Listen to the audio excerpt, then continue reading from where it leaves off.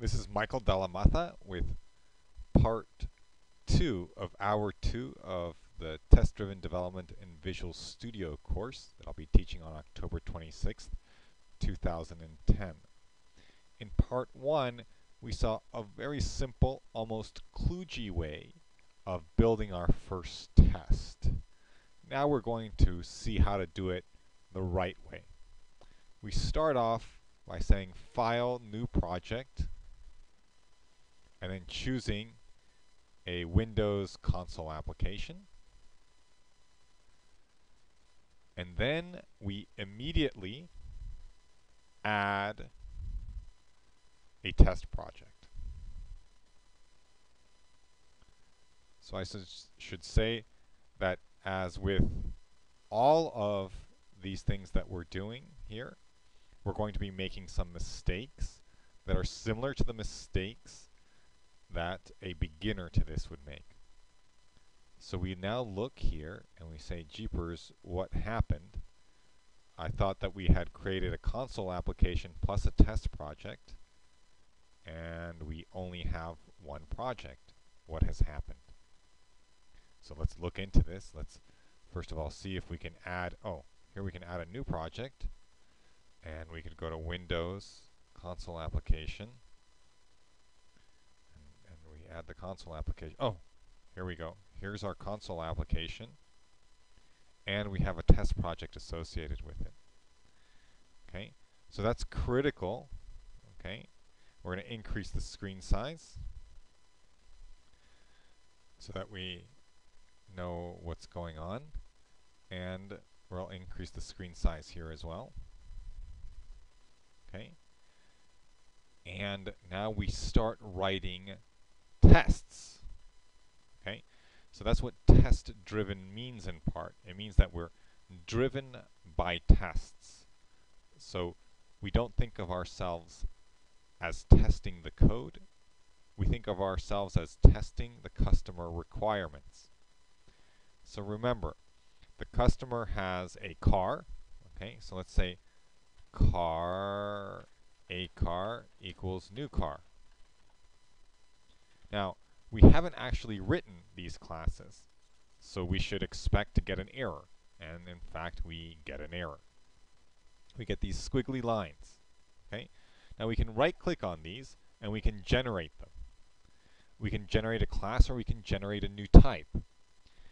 When you do this, you should generate new type. If you generate class, what will happen is that this class will be created inside of the test project instead of being created inside of console application 1. So we're going to just try this so that you see that in case you make that mistake. So we say generate class and boom, here it is. It's car.cs in test project. If we go over to car.cs, you see that the namespace here is test project 13 3, which is definitely not what we want we want this car class to be generated inside of console application 1. So let's go ahead and remove this. And we go back here to the unit test and we say generate new type and you see that the default here is test project 3 but we want to create it in console application 1. Now you'll see that Visual Studio will automatically add console application 1 to the references and add a using statement. And if you remember from part 1, we struggled with this. We actually wound up changing the namespace. Now you see that Visual Studio actually does do this for us automatically if we do it in the right order. Okay, so here we have car.cs where we wanted it. We have console application 1 added to the references of test project 3 and we see that the squiggly lines are gone. Now we say int foo equals a car year, and we get another squiggly line here because we have yet to create it. So we want to generate this method stub. And if we go over here to car.cs, we'll see that Visual Studio has created a method a year, and it's telling us that we haven't implemented it. So if we run this, we'll get this not implemented exception. Let's continue writing our test. We're going to say assert r equals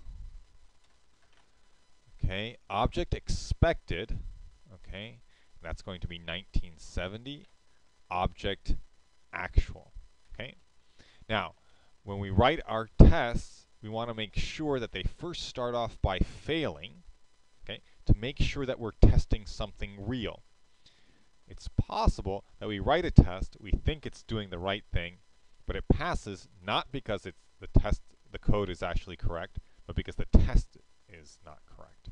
So we should make sure that it doesn't work first. Now we're going to run it. The first thing that's going to happen is that it says it threw an exception. So we should come here and implement the actual code. And then we go back to unit test and we run it again. And we see that it tells us that it expected 1970 and the actual was 1965. So we've successfully failed and now we run the test once again and it should now pass. So that's an excellent example of how to do a test using the test-driven development approach and this is the right way to do it.